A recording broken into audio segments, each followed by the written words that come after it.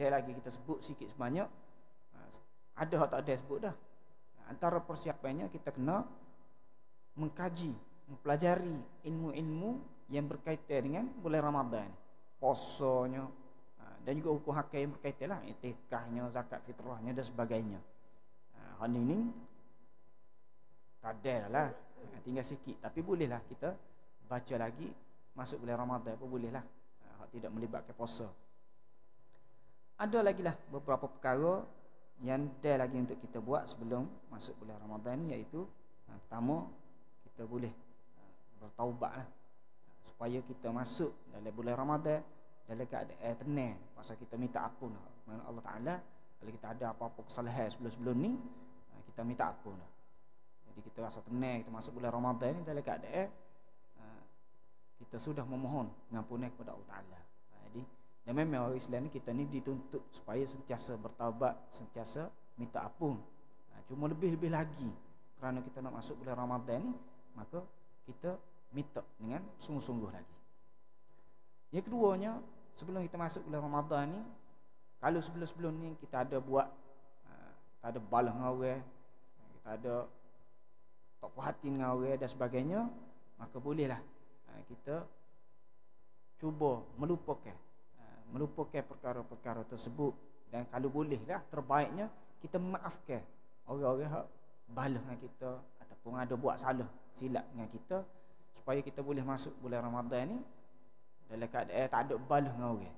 Ha, tidak kata dalam hati kita ni ada lagi benci kat orang tu ada lagi hasad ha, berasa deki berasa tak puas hati ha, ada denda dan sebagainya tak ada benda-benda tu.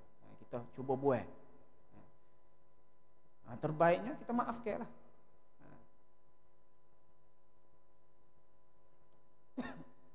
Ha, Dan juga ha, Persiapannya lagi Bila nak masuk bulan Ramadan ni Kita tingkatkan amalan lah. Kita latih diri kita. Ha, Tapi itu semua tu Dekat benar dah ni. Ha, Ini kena sebut awal lagi. Kita latih lah Melakukan Kebaikan-kebaikan Amal kebaikan Kita jaga Pergi masjid Hadir Semaya jemaah kita Amal-amal ibadat kita kita cuba tingkatkan.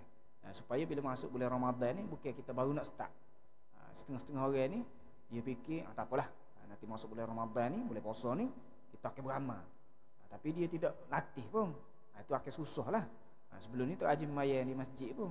Ha, tapi mikir tak apalah. Nanti bila puasa ni kita maya masjid. Ha, dibimbanginya bila masuk bulan Ramadan ni Moga dia terbiasa dah gitu kan. Tak tak diajar tidak dilatih diri dia untuk pergi ke masjid maka dia akan jadi rasa berat juga ha, Jadi rugilah. Masuk bulan Ramadan baru nak Melatih, baru nak ajar diri untuk Pergi ke masjid ke, buat amal ibadat ke. Ha, Jadi semoleknya sebelum Boleh puasa ni, sebelum masuk Ramadan ni Kita latih selalu ha, Dan kita pun nampak biasanya Orang-orang tempat kita pun gitu dah. Ha, Dekat-dekat Ramadan ni Nampaklah ramah pakat pergi masjid.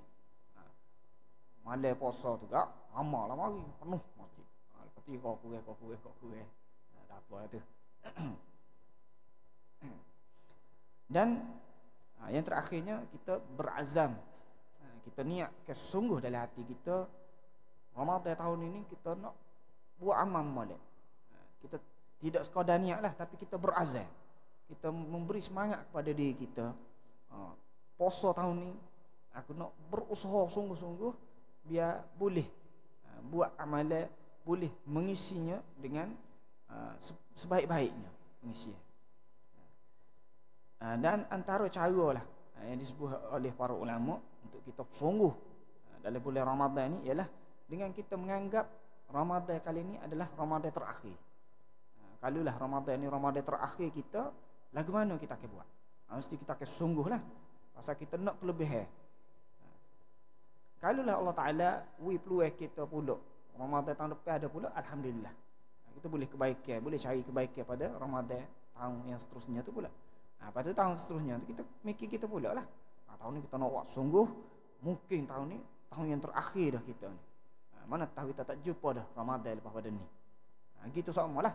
Sehinggalah siapa ketentuan Allah Ta'ala pada kita. Ha, pasal kita sendiri pun tak tahu bila ajar maut kita. Ha, jadi kita anggap mungkin tahun ni terakhir kita kena buat sungguh. Buat terbaik.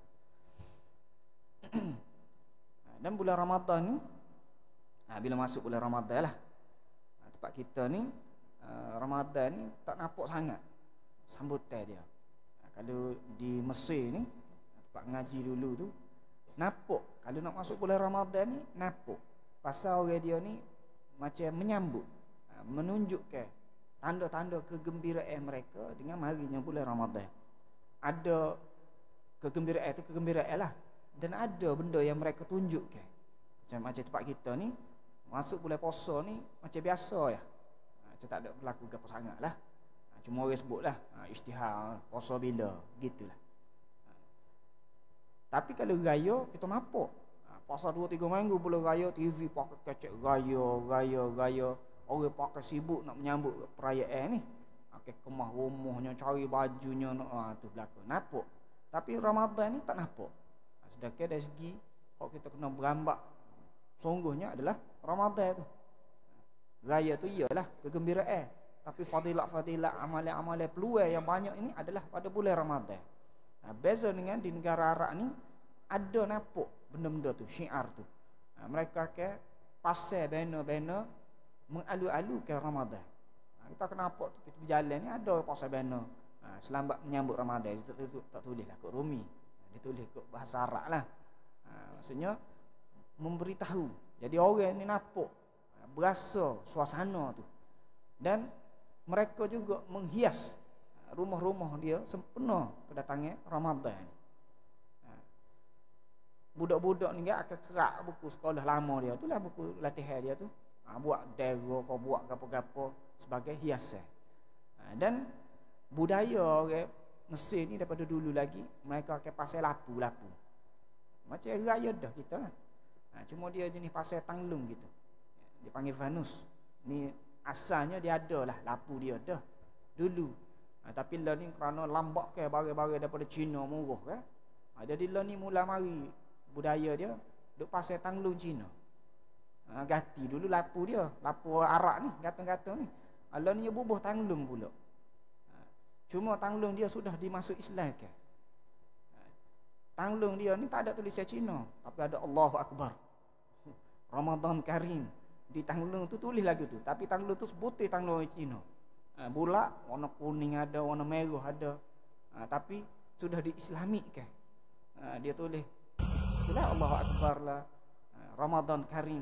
Jadi tukar daripada tanglung Cina jadi tanglung Ramadan. Ha, tempat kita gaya Cina pun nampak benda-benda tu. Ha, tapi di Mesir ni orang nampak gatung pakak gatung tanglung-tanglung tapi tanglung Ramadan. Ha, jadi ayatnya dari segi gembira dari segi amalan tu ada dah.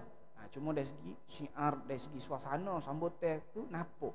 Ha, kerana mereka ni menganggap besar Ramadan.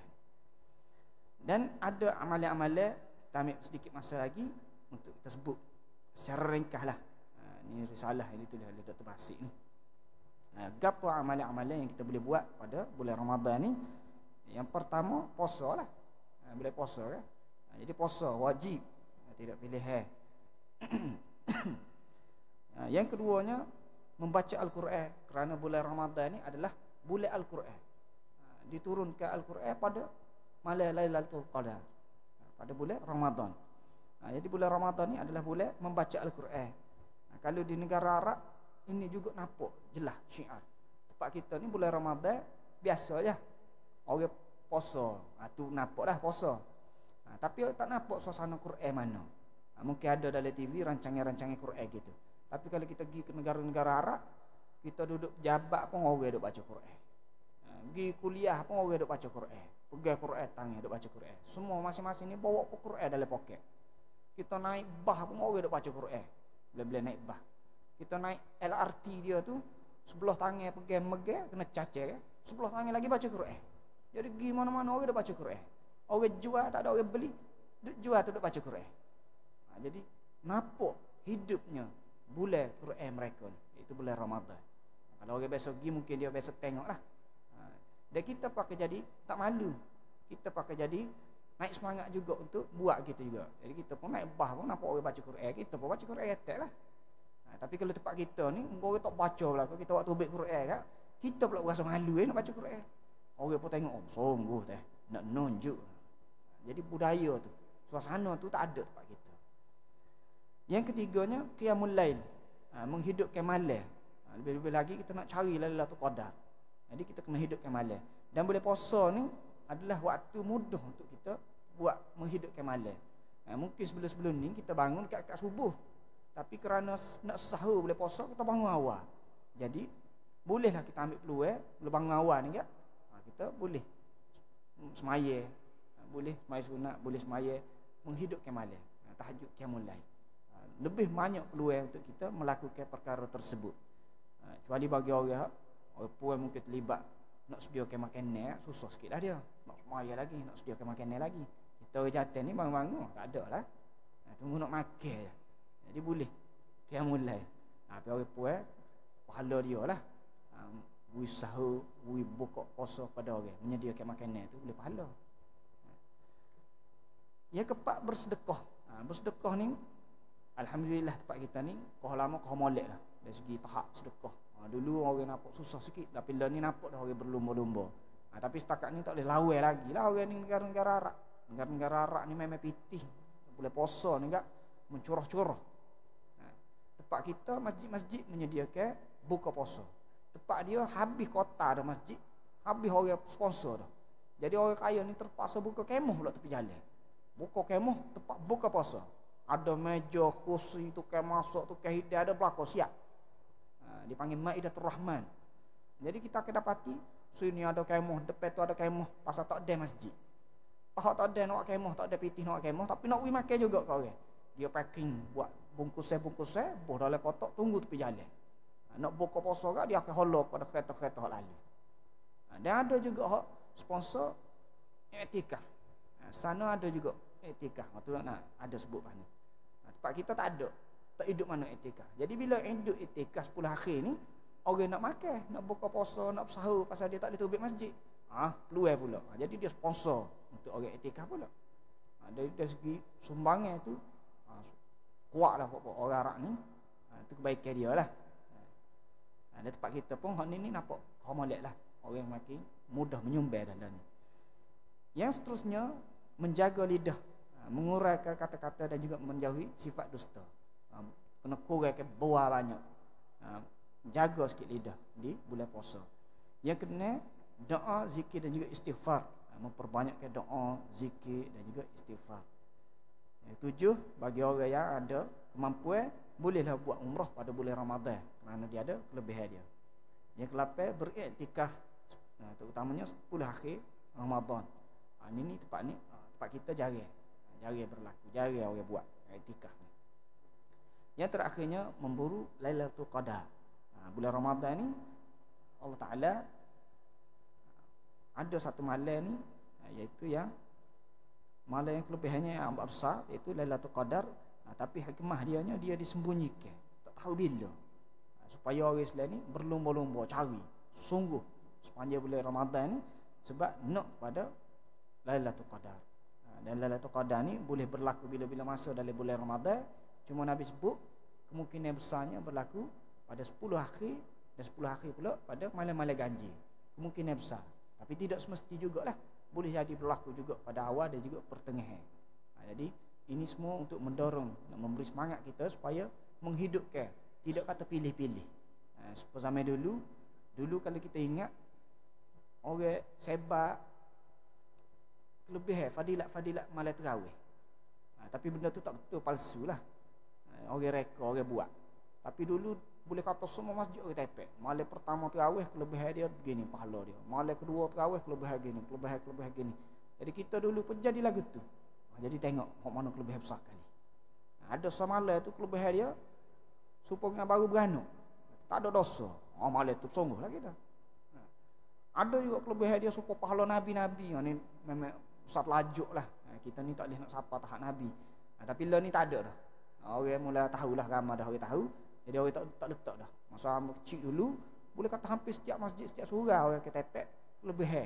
Malam pertama boleh gapo, malam kedua boleh gapo. Ha, dan ni tak ada dah. Ha, orang tak buh lah. Ha, jadi hal ini untuk hikmah dia tak siwi gitulah. Tak siwi kita ni pilih-pilih.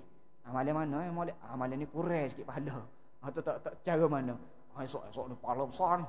Sungguh sikit ada. Jadi hikmah dia kita akan sungguh sepanjang bulan Ramadan. Jadi cukup setakat itu dulu semoga Allah Taala uh, memberi kita peluang untuk kita beribadat dengan sebaik-baiknya pada bulan Ramadan ni dan semoga Allah Taala menerima amalan baik kita pada bulan Ramadan ni. Ha, jadi cukup setakat itu dulu aku qali hadza astaghfirullahalazim li wa lakum assalamu alaikum warahmatullahi wabarakatuh. Wallahu a'lam bissawab.